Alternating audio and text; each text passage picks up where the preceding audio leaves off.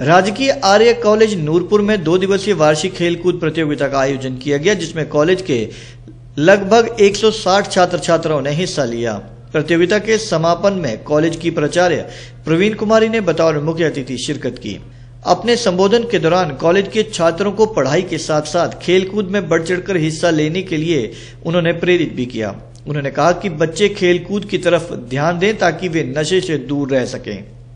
इस दो दिवसीय खेलकूद प्रतियोगिता में 100 मीटर 200 मीटर 400 मीटर रेस के अलावा javelin throw, long jump, discus shot put, spoon race, मटकी race, three leg, high jump इत्यादि खेलों में छात्र छात्राओं ने बढ़ चढ़कर हिस्सा लिया।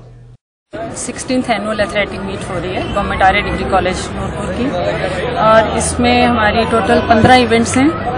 जिसमें रेसेस हैं कुछ 100 मीटर 200 400 मीटर कुछ थ्रोज हैं जेवलिन थ्रो और डिस्कस थ्रो और उसके अलावा शॉर्ट पुट थ्रो है और फिर जंप्स हैं long jump high jump boys और girls total 15 including four fun games भी हैं tug of war musical chair तो मटकी रेस मटकी रेस है स्पून रेस है बॉयज़ और गर्ल्स के लिए हैं ये सारी इवेंट्स और बच्चे सारे कर रहे हैं। पार्टिसिपेट